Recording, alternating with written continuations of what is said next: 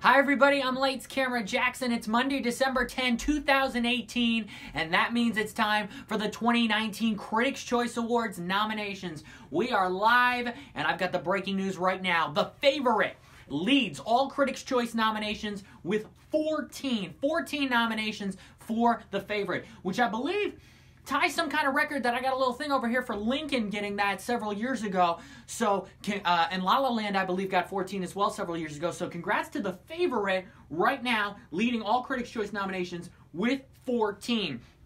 Now, we're going to go through every single category. Send in your questions, your comments, your reactions to every single category we're going to go through for the Critics' Choice Awards. If you are a BFCA member, this is a great time to join me right now on this conversation as we talk about the Critics' Choice Awards nominations. So, the favorite is leading the way with 14. Let's go through right now the other ones. Looks like Black Panther got 12. First Man with 10. Again, I'm reading all these for the first time right here with you guys right now. Mary Poppins Returns, Star is Born, and Vice with nine nominations each. Roma with eight nominations. Uh, Green Book picks up seven. So let's go right now to Best Picture of the Year for the Critics' Choice Awards. Nominations are Black Panther, Black Klansman, The Favorite, First Man, Green Book, Beale Street Could Talk, Mary Poppins Returns, Roma, Star is Born, and Vice. Those are your 10 nominees for Best Picture of the Year this year at the Critics' Choice Awards. Can't say I'm surprised by any of them, but it is nice to see First Man in the equation because it got really snubbed by the Golden Globes the other day. So First Man is in the equation. Also glad to see Mary Poppins Returns getting some nominations. Glad that my fellow BFCA members voted for that. Look, we still haven't been able to put out our Mary Poppins reviews yet finally, the embargo lifts on Wednesday at noon Eastern, and I'm so excited to finally be able to share my full review of Mary Poppins Returns on Wednesday. Just gotta wait two more days. Again, send in your questions, your comments on some of these nominations. Let's go to Best Actor in a Leading Role. The nominees are Christian Bale for Vice, Bradley Cooper, A Star is Born, Willem Dafoe, At Eternity's Gate, Ryan Gosling, First Man, Ethan Hawke. There you go. Here's Ethan Hawke for you because he didn't get a Golden Globe nomination, and now he is up for um, he is up for Best Actor for his performance in First Reformed. Rami Malek, Bohemian Rhapsody, my personal favorite in this category, and Viggo Mortensen for Green Book. Just gonna check and make sure the stream's still going because it's not showing up on my on my uh, phone there. I think we're still good. I think we're still okay. All right, let's go right now. Uh, glad to see uh, Ethan Hawke got in the equation, though. Best Actress, Yalitza Aparicio for Roma. She's getting a lot of attention for this performance. Then there's Emily Blunt, Mary Poppins Returns, Glenn Close for The Wife. I think she was a lock to get a nomination today. Here comes Toni Collette for Hereditary, Olivia Colman for The Favorite, Lady Gaga, A Star is Born, and a big surprise, making it seven, Melissa McCarthy. Can you ever forgive me? Melissa McCarthy has been nominated for so many Critics' Choice Awards in the past in the lead actress in a comedy category that now she's finally in the regular lead actress category for her performance in Can You Ever Forgive Me? Best Supporting Actor, Motion Picture, Mahershala Ali, Green Book, Timothée Chalamet, Beautiful Boy, Adam Driver, Black Klansman. There you go. Sam Elliott, A Star is Born. He got snubbed the other day. Now he's in this category. Also got Richard E. Grant, Can You Ever Forgive Me? And wow, Michael B. Jordan for Black Panther. Michael B. Jordan and Disney and Marvel actually sent uh, a little video the other day to all the members, maybe hoping Michael B. Jordan would be in this category, and he is. Holy cow, Michael B. Jordan. Best performance by an actress in a supporting role. Amy Adams, Vice. Claire Foy, First Man. There you go. Nicole Kidman, Boy Erased. I'm telling you, she's coming for two nominations this year. But look, Nicole Kidman got snubbed for Destroyer. Wow. Nicole Kidman got snubbed for Destroyer for lead actress, but she did get a nomination for supporting actress for Boy Erased. Wow. Regina King, if Beale Street could talk, and Emma Stone and Rachel Weisz for The Favorite. Okay. Best Young Actor or Actress. Elsie Fisher, 8th grade. Thomasin McKenzie, Leave No Trace. Ed Oxenbould, he was good in Wildlife. Uh, Millicent Simmonds from uh, Quiet Place. Amanda Stenberg, The Hate You Give. And Sunny Suljic, the little boy, in mid-90s. Uh, performance by a cast in a motion picture, Black Panther. Crazy Rich Asians. I think that's getting a SAG nomination on Wednesday, too. The Favorite, Vice, and Widows. All right. Once again, send in your questions, your comments on these Critics' Choice nominations we got right here, right now, live. Best Director, Motion Picture. Damien Chazelle for First Man. They're giving some First Man some love, some much needed love. Bradley Cooper, Star is Born. Alfonso Cuaron, Roma. Peter Farrelly for Green Book. Man, I didn't think Peter Farrelly was going to get these director nominations, even when I saw Green Book. Because maybe because oh he's made all these comedies, maybe be hesitant to give it, and it's really not a director's movie. Yorgos Lanthimos, the favorite, Spike Lee for Black Klansman. Whoa, a lot of people are gonna want pictures with Spike if he's there, and Adam McKay for Vice. I was hoping Rob Marshall would get in there for Mary Poppins. Maybe that'll be an Academy surprise. Best Original Screenplay Motion Picture, Bo Burnham, 8th grade. Alfonso Cuaron for Roma. Roma's getting so many nominations.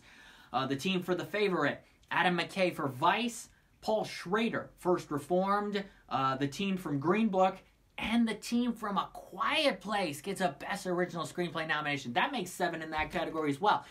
I had a major problem with A Quiet Place. How did this couple decide to have the kid under these circumstances? That really is what did it for me, uh, and why I didn't choose to vote for A Quiet Place for this category. Best Adapted Screenplay Black Panther. Can You Ever Forgive Me? If Beale Street Could Talk, A Star is Born, First Man, and Black Klansman. Those are your adapted screenplay nominees. Academy Picks says, in your opinion, overall biggest surprise, biggest omission. You look at that Best Actress category right now. Nicole Kidman is not in there for Destroyer. Julia Roberts is still not in there for Ben is Back. Uh, yeah, this lead actress category. Elsie Fisher uh, is in young actor actress, but she didn't get in the regular lead actress category. There's a lot there so far in that category. But again, we're going through right now all the categories for the Critics' Choice Awards. Send in your questions, your comments, your reactions. I'm giving you my live instant take reactions on all of these nominations. Cinematography Roma, Beale Street Could Talk, Star is Born, Black Panther, the Favorite, and First Man. First Man definitely deserves to be in that category. I can see A Star is Born and Roma certainly for cinematography. Black Panther, look, the critics seem to love Black Panther, putting it in nearly every category so far. Best Production Design. You've got Black Panther, Roma, Crazy Rich Asians. How about that? Uh, also, The Favorite, First Man, and there's Mary Poppins Returns, one of probably several technical categories that will hopefully be up for. Crazy Rich Asians is the surprise in this case. Maybe we'll see that for some more award shows down the line the rest of this award season. It is a very elegant movie, and so I can understand the costumes were also really nice in Crazy Rich Asians too. So there you go, your production design nominees. Film editing. Wow. Okay, Widows is in the equation for film editing. That's on the ballot. Widows is a heist movie. I think this is the first appearance of Widows today because Widows is not even in the best. Uh, oh, it is in the acting ensemble category. All right, so second appearance today for Widows, but no individual acting nominations for Viola or Daniel Kaluuya, Colin Farrell, anybody like that. But you've got Widows, also The Favorite, Roma, First Man, Vice, and A Star is Born. We're seeing a pattern here. A lot of the same movies coming in all these different categories. Definitely a lot of the same ones. All right. Best Costume Design. Mary Queen of Scots Mary Queen of Scots did not get sent out to Critics' Choice members. Focus Features decided, you know what? We're not going to send out screeners of this movie. We want you to experience it on the big screen. Well, for people who don't live in New York City or Los Angeles, that's very tough. So, but Mary Queen of Scots still gets a Best Costume Design nomination, joining Black Panther, Bohemian Rhapsody, the Favorite, and Mary Poppins Returns. There's Bohemian Rhapsody. I think the costumes in Bohemian are fantastic. They deserve to be in this category. Not a bad few other choices as well. I like the costumes in Black Panther, and certainly Mary Poppins Returns, and very elegant in The Favorite. Best Hair and Makeup. Looks like six nominees in this category Black Panther, Bohemian Rhapsody, The Favorite, Here Comes Mary Queen of Scots again, Suspiria and Vice. Suspiria is that crazy movie from Amazon, the two and a half hour one that came out in October. And let me tell you, they were campaigning so hard for this nomination, sending us booklet after booklet and, and for your consideration materials just for the makeup team alone to get Suspiria that nomination. Hey, it worked. Thanks for joining us at Gab underscore Mead, looking at the nominations for this year's Critics' Choice Awards. All right, visual effects time. We could see a lot of action movies, and it looks like we do. Avengers Infinity War. I thought this could have been up for uh, Best Acting Ensemble as well, but it looks like so far just visual effects. Black Panther, First Man, Mary Poppins, Mission Impossible Fallout for visual effects. That's an interesting choice for, for visuals. And Ready Player One, one of the best movies of the year. Glad to see that that is in this category. Wow. Animated feature and the first movie staring me in the face is The Grinch. Universal and Illumination are over the moon right now with this nomination. The Grinch did not get an Annie Awards nomination, nor did it get a Golden Globe nomination. So we have six nominees this year. The other five are the pretty much standard five. The Grinch getting in there is a huge surprise. You've got Incredibles 2, Isle of Dogs, Mirai, Ralph Breaks the Internet, and Spider Man Into the Spider Verse. That seems to be the core five. Other ones like Early Man sneaking in at the Annie Awards or today The Grinch. Uh, big, big surprise there. I would say those other five, if they're not the Academy Award nominees for animated feature, if one of them gets taken out, it will be a huge surprise. One of the bigger surprises of that day. Wow, The Grinch is an animated feature nominee. Holy cow, did not expect that. Best action movie. Avengers Infinity War, Black Panther, Deadpool 2, Oh man, we could see Deadpool 2 in the comedy categories too. Mission Impossible Fallout, Ready Player One, glad to see that. And Widows is in the best action movie category. I don't know if Steve McQueen was expecting that, but he got Widows into the best action movie category. Best comedy of the year, like I said, Deadpool 2 is there joining Crazy Rich Asians. The Death of Stalin, wow. The Favorite, yeah, The Favorite's a comedy. It's a dark comedy. There's some drama there. Yeah. Game Night. That came out so early in the year. I don't know how people remembered that. And Sorry to Bother You, which came out in the summertime. Game Night's a big surprise. Uh, I didn't really like Game Night. And I thought Sorry to Bother You was alright, but I kind of liked it less as I thought about it over the rest of the year. Now, this is interesting. Okay, so Vice isn't up for Best Comedy, but yet Christian Bale is nominated for Best Actor in a Comedy for Vice. Wow, okay. Same with Green Book. Viggo Mortensen nominated Best Actor in a Comedy. Green Book not nominated for Best Comedy. Where's the correlation there? Wow. All right. Jason Bateman for Game Night joins them along with John C. Reilly for Stan and Ollie, his second nomination now after the Globes. Ryan Reynolds for Deadpool 2, and Lakeith Stanfield for Sorry to Bother You. Yeah, that's definitely a wacky category correlation. Wow. And then Best Actress in a Comedy, which starts off with Emily Blunt for Mary Poppins Returns. Here's the thing Mary Poppins Returns is. It's light in places, but it is not a straight comedy. There's a lot of emotion and drama to it. Yes, it's a fantastical musical with some humorous aspects throughout all that, but it is not a straightforward comedy. And again, where's the correlation? Where does that go uh, for that not being in the regular best comedy category? Olivia Colman for The Favorite. Elsie Fisher for eighth grade gets in that category too, just like young actor actress. Rachel McAdams for uh, Game Night. Charlize Theron gets another nomination for Tully, and Constance Wu for Crazy Rich Asians. Yeah, definitely some interesting choices by some of the voters, some of which I really don't honestly agree with. Best sci fi or horror movie. So glad. This is one of the best movies of the year. Came out so early in the year. Glad to see it gets in this category. Annihilation. Natalie Portman, I think Natalie Portman's better in this movie than she is in Vox Lux. She's getting a lot of attention for Vox Lux, though she did not get another nomination today for that. But she's really good at Annihilation. So is Jennifer Jason Lee. Halloween, also thrilled to see that on the list. I think Jamie Lee Curtis should be in the Best Supporting Actress conversation. Why nobody is bringing that up blows my mind. Hereditary joins A Quiet Place and Suspiria for Best Sci-Fi Horror Movie nominations. Foreign language film. Burning, Capernaum. This is a great movie that didn't get a Golden Globe nomination the other day. Glad it's up for the Critics' Choice. Cold War. Really good romance. Joining Roma and Shoplifters for your best foreign language film Critics' Choice Awards nominations. What's up, Wiki Patera? Thanks for joining us here on this special LCJ Live where we're going through the instant reactions right now to the Critics' Choice Awards nominations. All right, best song. All the Stars from Black Panther. Girl in the Movies, the great Dolly Parton song from Dumplin' is there. I'll Fight from the Ruth Bader Ginsburg documentary RBG. Wow, Felicity Jones did not get nominated today for playing Ruth Bader Ginsburg and on the basis of sex.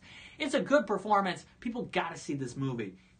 Shallow from A Star is Born, and then not one, but two Mary Poppins songs, making up for the fact that no Mary Poppins song got nominated for the Globe. Two of them, Trip a Little Light Fantastic, and my personal favorite, The Place Where Lost Things Go, are nominated for Best Original Song. Best Score in a Motion Picture, Green Book, If Beale Street Could Talk, Alexandre Desplat for Isle of Dogs, Black Panther, Justin Hurwitz for First Man, well deserved, and Marc Shaiman for Mary Poppins Returns, very well deserved, and that's a great way to finish out these movie categories. So, wow, these are your movie categories for the 2019 Critics' Choice Awards. Again, the favorite leads with 14 nominations, uh, followed by Black Panther with 12, First Man with 10. Remember, it only got two Golden Globe nominations the other day. Mary Poppins Returns, A Star is Born, and Vice with 9. Uh, Roma with 8, and Green Book with 7. And your Best Picture nominees, once again, Black Panther and Black Klansman. The Favorite, First Man, Green Book, If Beale Street Could Talk, Mary Poppins Returns, Roma, A Star is Born, and Vice. When you look at the 10 nominees for Best Picture, None of them seem outrageous. Five years ago, you might have thought Black Panther seemed outrageous, but where we are now culturally, it makes complete sense. I think the biggest one here, earliest in the year release wise, besides Black Panther, is Black Klansman because it came out in August. And so Focus Features was hoping maybe there would be a chance that it could get into this category, and it does because Critics' Choice does 10 nominations guaranteed for Best Picture of the Year. So uh, there you go for that. And looks like Best Actor and Best Actress have seven nominations each. The supportings have six. Young Actor has six. Animated Feature has six, including The Grinch, which I again think one of the biggest surprises of the day. And seven nominees for Best Director. So a lot going on here with these Critics' Choice Awards nominations. Uh, I am going to move on to television because I want to make sure the TV uh, fans get a little love for TV. So let's go to the television nominations now for the Critics' Choice Awards. I only vote for the movie categories, but I always like eh, seeing the stars of the TV shows there, certainly, and also seeing what my fellow uh, Critics' Choice members in the television division, the Broadcast uh, Television Journalists Association, did with their nominations. So if you have any questions or comments, send them in. Why do some categories have more than five? Critics' Choice standard has been six. We've always sort of been like that. Um, so most of the main categories would have a minimum of six. If there are ties, it goes to seven. That happened last year with actor and supporting actress. This year it seems to happen with actor and lead actress uh, and director. Um, so clearly there were some ties. There's only about 300 of us who vote for these awards. And so Ties, I guess, could be rare, but maybe not so rare. And six nominees for uh, animated film shows there was probably a tie too, because we haven't always had six nominations for Best Animated Feature. That's only happened a couple times in the last several years. So, yeah, that's just kind of where it is at Moat87. Thanks for joining us here. Critics' Choice Awards nomination reactions live. We're going to move over to TV, and then we'll swing on back to for some final thoughts on the movie categories. Drama series. Wow, a lot of nominations. The Americans, Better Call Saul, The Good Fight, Homecoming. There's your Julia Roberts nomination, probably. Yes, Julia Roberts is nominated Best Actress in a Drama Series for Homecoming. Not nominated for Ben is Back, which I think is a well-deserved nomination in the lead actress uh, category. Hope maybe she'll get it for a different award show coming up. Killing Eve, My Brilliant Friend, Pose, and Succession. How many is that? Eight! Best Drama Series nominations. Wow. All right, Best Actor, Drama Series. Freddie Highmore for The Good Doctor. Diego Luna for Narcos. Richard Madden for Bodyguard. I think he's the guy from Cinderella uh, a few years ago.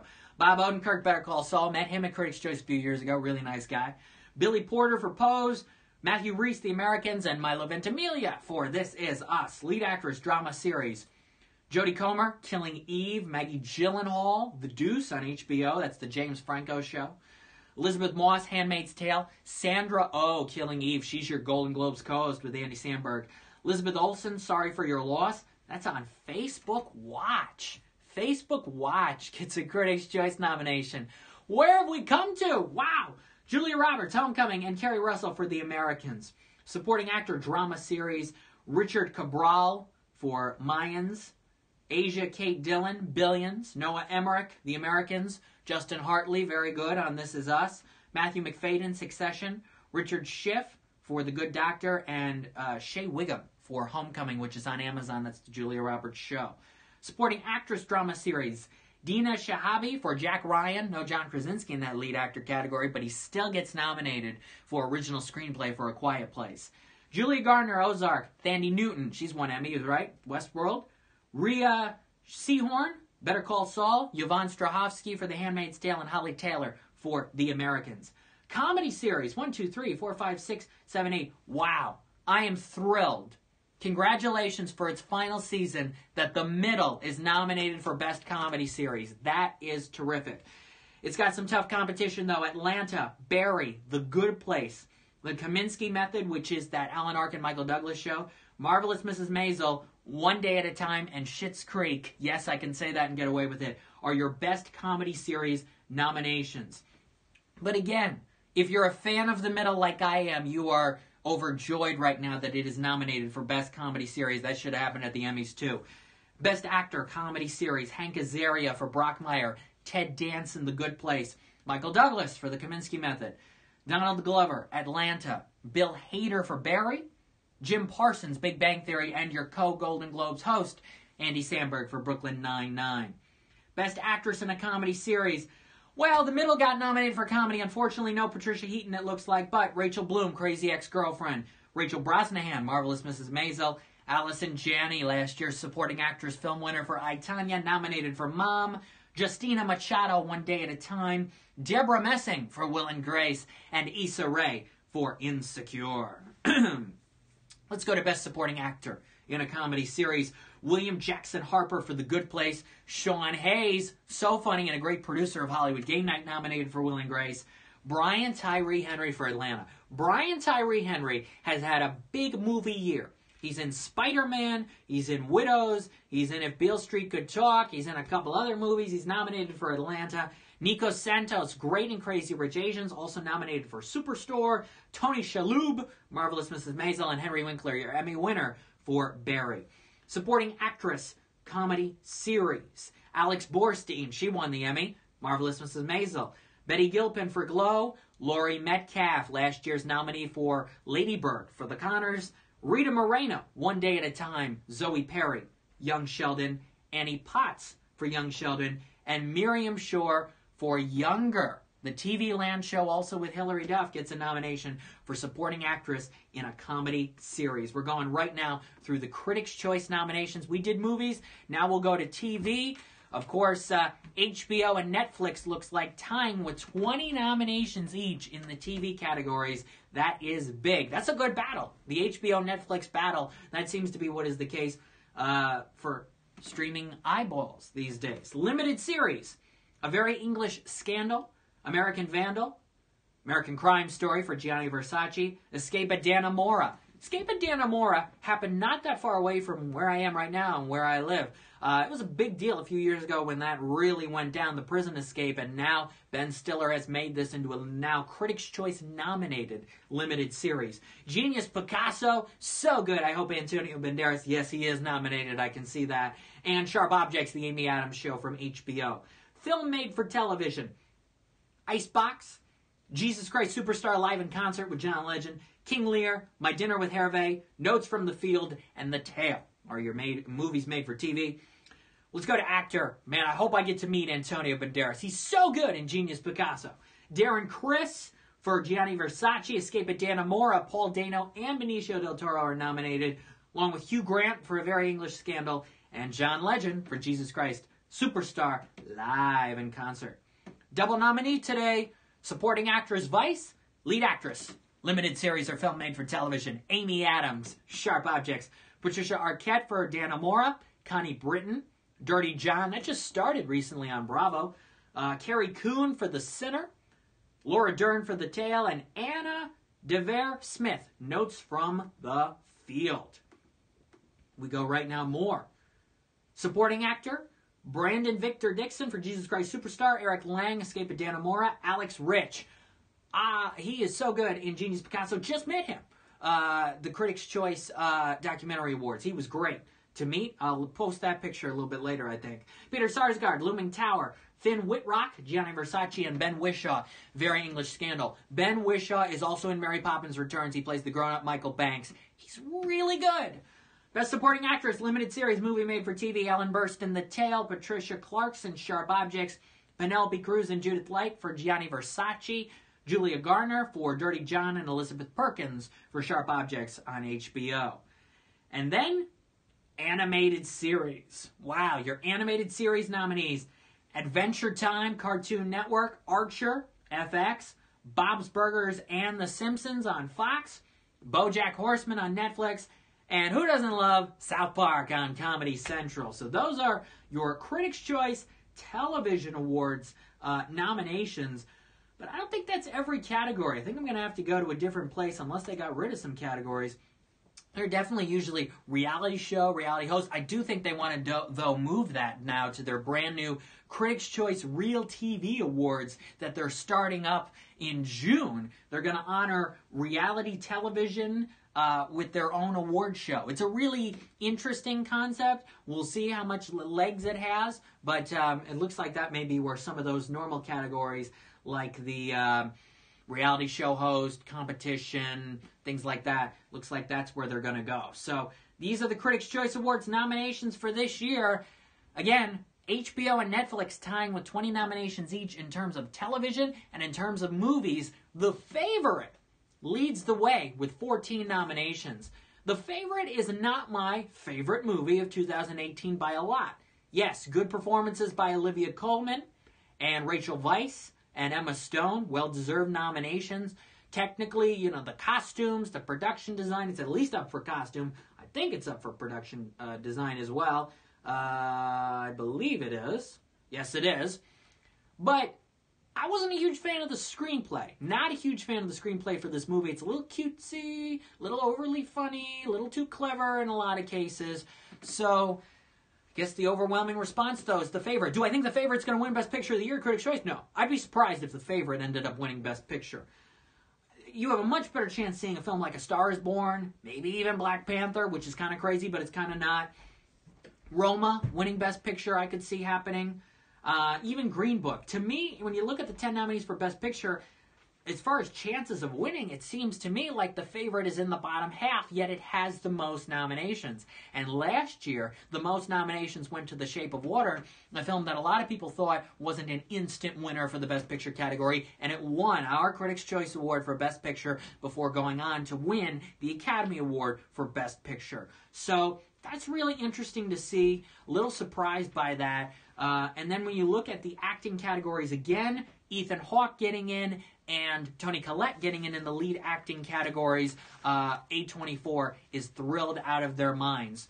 Already mentioned Amy Adams, of course, a double nominee again for Vice and Sharp Objects, and then Julia Garner nominated for her two roles, Dirty John and Ozark. You're going to see a lot of double nominees uh, this year, looks like, including Elsie Fisher. Elsie Fisher nominated for lead actress in a comedy movie and young actor or actress for a great performance in eighth grade. I wish Josh Hamilton, who plays her dad in the movie, got in the supporting actor category because that would have been well deserved. What's up at Fico Cangiano? Thanks for joining us here as we talk about the Critics' Choice Awards nominations. The show is Sunday, January 13th from 7 to 10 p.m. Eastern. It's three hours live on the CW. As a matter of fact, uh, I was talking with the president of our association, Joey Berlin, and he said he called up and went to every single CW outlet out there and said, Can we have the extra hour of time so we could do a three hour live show? And they said yes. It's the brand new CW Sunday night that we are a part of and so proud of it. 7 to 10 p.m.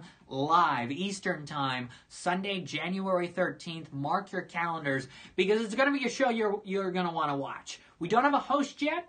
But I'm thinking that might happen in the next couple weeks or so. Hopefully, get somebody big to host this year's Critics' Choice Awards. Again, the favorite leads the way with 14 nominations 12 for Black Panther, Universal's First Man with 10, Mary Poppins Returns, Star is Born, and Vice with 9, Roma with 8, and Green Book with 7.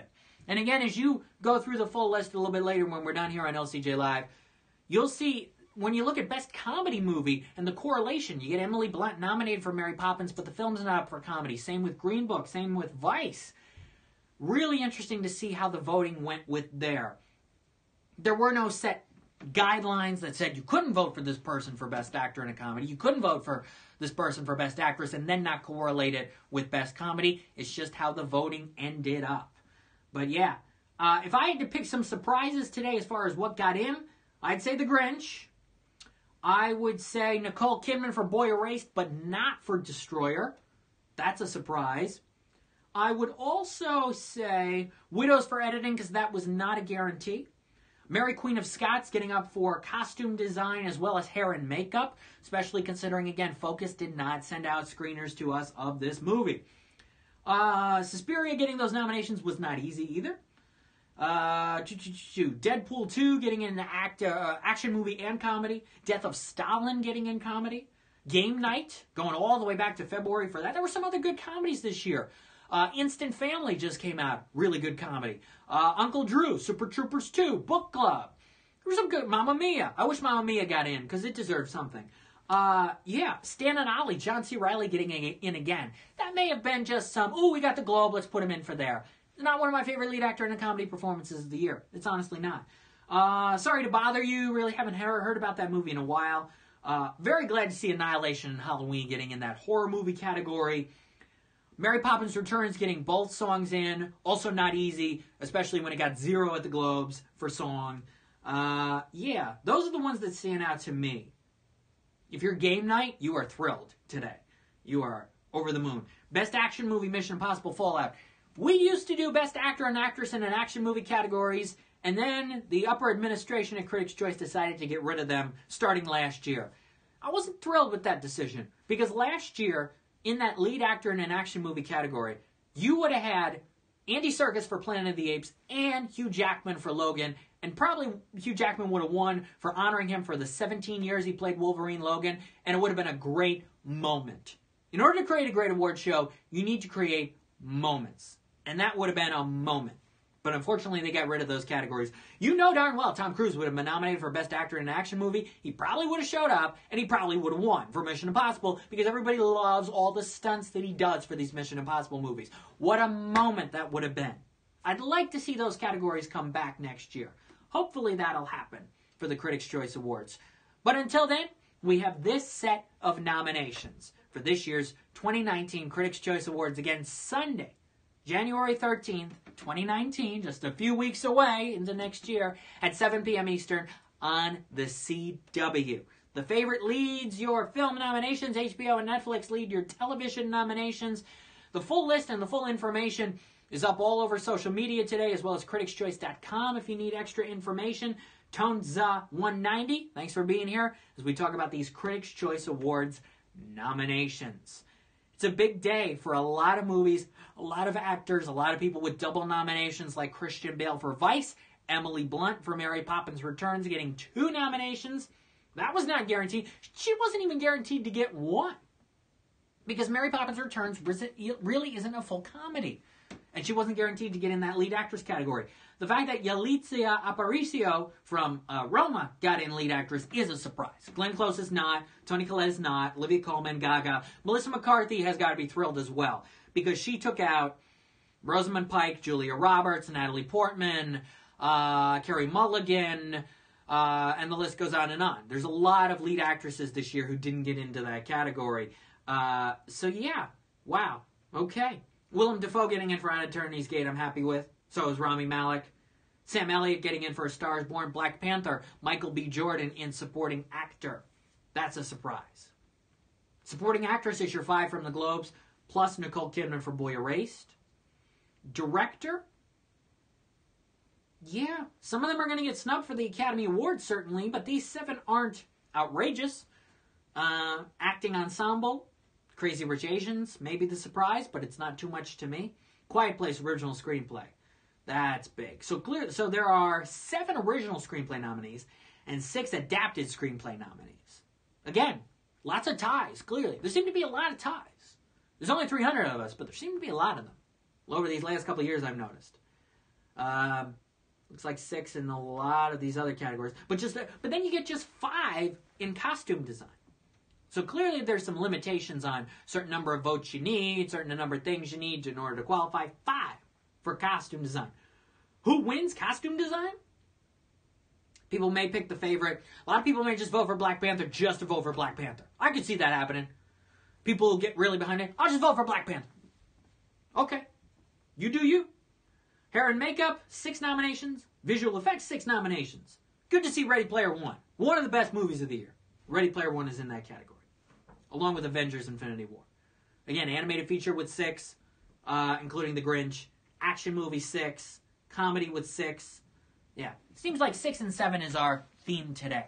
Favorite with 14, HBO and Netflix with 20. If you want the full list of nominations, go to criticschoice.com. Look all over your social media. And I'm going to have more analysis and more posts later today because this is a big deal for our 24th annual Critics' Choice Awards, Sunday, January 13th, 7 p.m. Eastern on the CW. I am Broadcast Film Critics Association member Jackson Murphy, Lights Camera Jackson. I am so proud to be a member, so excited to vote once again for this show, and so excited to be able to go to this show once again for my seventh Critics' Choice Awards. Really excited about it. Hey, thank you so much for watching today's episode, special edition of LCJ Live with live analysis of the Critics' Choice Awards nominations. I'll see you Sunday at noon Eastern for our regular show. We'll talk about the Spider Man box office along with The Mule with Clint Eastwood. Maybe some reaction to the SAG Awards nominations, which come out this Wednesday at 10 a.m.